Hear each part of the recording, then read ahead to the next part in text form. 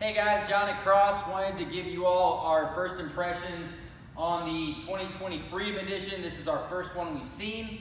Uh, it's the new one to the lineup. Uh, they've done it for a few years now and they, they made some pretty neat adjustments. So the big thing on this is gonna be the decals and the wheels. Uh, it starts off with a star uh, front and center. On the previous iterations of this, it was offset. This particular one does come with the LED headlamp group, but that isn't actually part of the Freedom Edition package.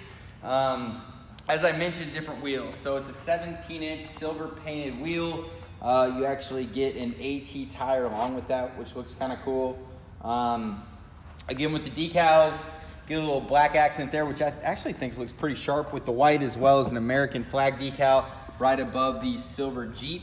Um, side steps are also part of the package, so you'll see those on every one. On the interior, it's uh, they kept with the same theme they've done in the previous years, which is a leather cloth interior. You do get Oscar Mike embossed into the seat. Now this particular one comes with a hard top as well as heated seats and a heated steering wheel. But again, those are adds to the package. That doesn't come with the Oscar Mike package itself. Uh, coming around to the rear, uh, you'll notice uh, the only green Oscar Mike you have on here, which is on the back, which looks kind of good. Uh, and then on the passenger side, rear quarter here, you pick up one more star like they had on the, uh, the previous model year as well.